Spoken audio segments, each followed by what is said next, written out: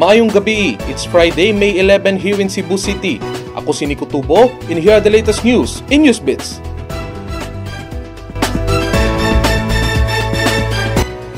Gipalagpot sa Korte Suprema si Chief Justice Maria Lourdes Sereno human giaprubahan ng co-warranto petition batok niini.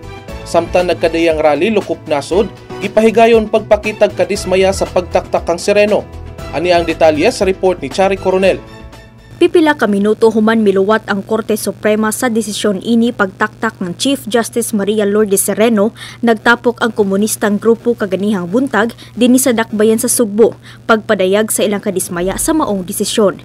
Gihulagway sa grupong Movement Against Tyranny Cebu ug Bayan Central Visayas nga ang pagkataktak ni Sereno pagpakita sa plano ni Presidente Rodrigo Duterte paglimpyo sa mga opisyal nga naglingkod sa kagamhanan nga dili niini kaalyado. Nagkadaiya usab nga kalihukan ang gipahigayon sa mga supporter ni Sereno sa kauluhan isip pagpadayag sa ilang simpatiya sa Chief Justice. Dulan sa 200 ka mga tawo ang bisalmot sa Jericho March at bang sa Korte Suprema sukad kagahapon sa gabii. Diin bitbit nila ang plaka o flag nga nagpakita og suporta kang Sereno. Nagpahigayon usab sila og worship activities ganihang buntag dungan sa pagsira sa dalan dito sa kauluhan sa wala pa mipagawas og desisyon ang Korte Suprema. Samtang pipila ka mga miyembro sa Integrated Bar of the Philippines Cebu Chapter may nagkadaiyang reaksyon mahitungod sa pagtaktak ng Sereno. Si Attorney Elaine May Bathan sa iyang bahin na alarma sa desisyon sa Korte Suprema sanglit makahatag kini og persepsyon sa publiko mahitungod sa justice system sa atong nasud. Kung may supak sa desisyon, adunay ni pakita og pagsuporta. Nagsuot og pulang t-shirt ang mga empleyado sa Supreme Court pagpakita sa ilang suporta sa co-warranto. Giaprobahan sa Korte Suprema ang co-warranto petition petition nga gisangat ni Solicitor General Jose Calida batok ang Chief Justice Maria Lourdes Sereno. Human sa special end bank session kaganihang buntag sa Supreme Court, giaprobahan sa Korte Suprema ang co-warranto petition nga gisangat ni Solicitor General Jose Calida batok ang Sereno. Human sa special end bank session kaganihang buntag sa Supreme Court, nigawas nga mayorya sa justices ang niuyon nga i-disqualify si Sereno isip Chief Justice. Tulo ka isyu sa co-waranto ang gibutaran sa mga justices. Walo sa mga justices ang nibutar nga i-disqualify si Sereno.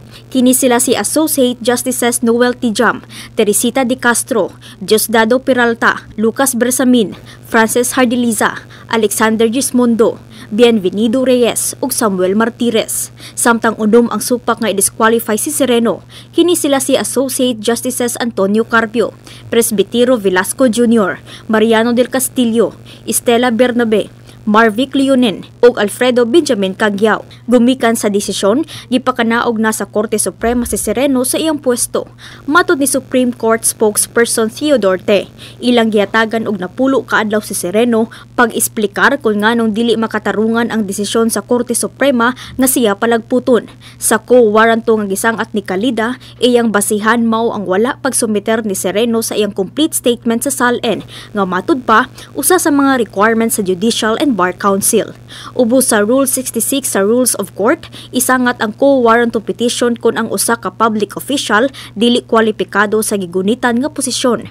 Nipadayag hinuon ang Malacanang nga respetuhon ang desisyon sa Korte Suprema.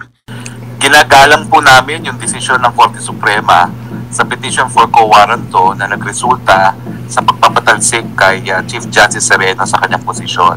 Sa ating saligang batas po, katungkulan ng uh, judikatura na bigyan ng interpretasyon ng ating saligang batas at ang desisyon po nila ay isang pagkakataon muli na itinaguyod ng uh, Korte Suprema na ang uh, ating saligang batas ang tunay na mananaig sa lahat ng legal na kontrobersya. Dugang ni Roque nga wala pa'y naisigutan si Duterte nga ikapuli kang Sereno. Sanglit dili pa pinal ang desisyon og mamahimo pang musangat og motion for reconsideration si Sereno. Kung si Vice President Leni Robredo ang pasultihon, matud niya tuloy ang laban alang kang Sereno. Gimando na sa Korte Suprema ang Judicial and Bar Council sa pag-abli alang sa nominasyon sa bagong Chief Justice. Si Sereno ang labing unang constitutional officer nga gitangtang sa pwesto nga walay impeachment trial. Chari Coronel, Newsbeat. Gideploy na sa tibok kapupunan ng puwersa sa kapulisan aron pagsiguro sa seguridad sa umaabot nga barangay ug SK elections. Aniya si Sherlyn Balansag sa report. Tulo ka adlaw sa dili pang barangay ug sangguniang kabataan election, gideploy na ang kapin 163,000 ka mga pulis lukop nasod. Kaganiha, kipahigayon ng send-off ceremony sa kapin 8,000 kamo pulis sa Police Regional Office Central Visayas ug Armed Forces of the Philippine Central Command sa mga lungsod sa habagatang Sugbo. Nahitabo ang maong send-off ceremony sulod sa Cebu City Sports Complex kaganihang buntag. Gitambungan kini nila ni Commission on Elections Central Visayas Acting Director Veronica Pital Corin, PRO Central Visayas Director Robert Kennery, ug Task Force Sugbo Commander Colonel Noel Baluyan. Matod ni Cebu City Police Office Director Joel Doria, nagpahigayon na ang kapulisan og mga checkpoints sa mga kabukirang bahin sa Sugbo, diin na batyagan ang pipila ka mga armadong grupo. Matod ni Doria, wala pa kini kumpirmasyon kung tinuod ba apan gibutyag ni ini na kini pagahimuon pagproteher sa maong dapit. Doon sa mga areas na binanggit, we are conducting checkpoint doon sa palabas at papasok ng area. Meron tayong direktiba sa station commanders, especially those that are um, covering yung mountain barangays, they have already intensified their uh, intel gathering and yung checkpoint nila, dinivert na nila dun sa mga areas na yun. Ugmang anlawa usab ang katapusan sa campaign period alang sa umaabot na election karong Lunes, May 14. Sherlyn Balansag, Newsbeats.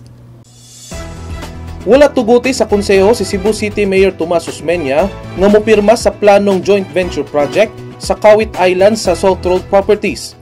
Anya si Carla Carnices sa report. Wala pabori sa Cebu City Council ang resolusyon nga maghatag og gahom ni Cebu City Mayor Tomas Osmeña aron pagpirma sa 18 billion pesos nga joint venture development sa Kawit Island sa South Road Properties. Sa boto nga 9 to 8, napakya si Konsehal Eugenio Gabuya pagkuha sa boto human nga nakita sa mayoriya sa konseho nga dihado ang nakbayan sa Subo sa maong kasabutan. Niadtong miaging tuig, tinguha sa Universal Hotels and Resort Incorporated ang pagdevelop sa Kawit Island property nga nahimutang sa SRP pinaagi sa pakigalayon sa kagamhanan sa Sugbo. Ang Universal Hotels Resort Incorporated gipanag-iya sa Gokong Way family. Sulod sa moong kasabutan, ang pag-abang sa UHRI sa 8 ka ektarya nga luna sa Kawit property sulod sa 50 ka tuig din ila kini tukuran og hotel, convention center, casino ug uban pa. Ubos sa proposed joint venture agreement, ang dakbayan sa Sugbo makakuha og 10% share gikan sa abang sa commercial, shopping area, hotel og resort samtang laing 15% gikan sa casino. Ilang gihulagway nga alkanse ang dakbayan sa Sugbo sa 90-10% nga bahinay sanglit ilang gihulagway nga dili kini haom sa kantidad sa yuta nga ilang gibanabana nga moabot sa 10 billion pesos nga mao'y mamahimong kontribusyon sa city government sa maong kasabutan. Una nang mipadayag si Konsel Joel Garganera ug Raymond Garcia nga supak sila ini sanglit ilang nakita nga adunay gipaboran si Osmeña sa pagpili ni inog investors nga buot magtukod og negosyo sa luna sa SRP. Carla Carnisi, Newsbeats. Muabot na sa dulan 8,000 ka mga barangay ang gideklara nga election hotspot sa Philippine National Police. Ani ang detalye sa report ni Catherine Guzalo. Mipagawas og listahan ang Philippine National Police kagahapon di natala ang adunay 7,915 ka mga barangay ang nabutang sa election hotspot sugod ni adtong Mayo 6. Gihulagway sa PNP nga adunay 2,325 ang ubos sa yellow category, 4,971 sa orange category, ug 619 sa red category. Ang Code Yellow mga lugar nagpasabot nga may record sa election-related violence. Ang Code Orange usab mga lugar nga may presensya sa mga armadong grupo ug ang Code Red mao ang critical area di na na ang election-related violence ug presensya sa armadong grupo samtang ang mga lugar nga naa sa Code Green nagpasabot nga andam na ang maong lugar alang sa umaabot nga eleksyon. Ang rehiyon sa Autonomous Region in Muslim Mindanao kon ARMM ang may labing daghan nga election hotspots nga moabot sa 1,415. Samtang sa Central Visayas, adunay 129 ka mga barangay ang nabutang sa election hotspots. May 90 ka barangay sa Negros Oriental, 23 sa Bohol ug duha sa Cebu ang Code Orange. Samtang upat ka barangay sa Cebu ug napulo sa Bohol ang anaa sa Code Yellow. Matod ni Police Regional Office Central Visayas Director Robert Kinere, walay natala nga Code Red sa Central Visayas.